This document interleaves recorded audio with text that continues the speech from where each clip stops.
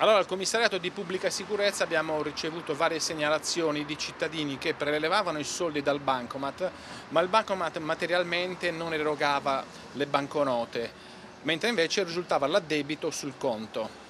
Allora sono state effettuate numerose, numerosi appostamenti e accertamenti al fine di, eh, di stabilire il perché eh, di questo fenomeno. Grazie all'aiuto anche di un cittadino modello che ci ha fatto una giusta segnalazione siamo riusciti finalmente a trovare l'apparecchiatura eh, che viene utilizzata. Sostanzialmente viene messa una barra d'alluminio in modo da impedire l'uscita delle banconote e successivamente i malfattori ritornano alla bancomat per staccare la barra di alluminio e dietro la baglia d'alluminio prendere le banconote.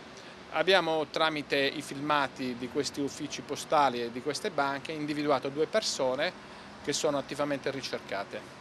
Volevo quindi fare un appello, soprattutto alle persone anziane che vanno ai bancomat e non riescono a prelevare i soldi, di chiamare immediatamente il 112, il servizio unico di emergenza, in modo che arrivi una pattuglia e accertare il motivo della mancata erogazione della banconota o delle banconote, perché se la persona si allontana poi è difficile riuscire a recuperare le banconote perché vengono sicuramente prese dai malviventi.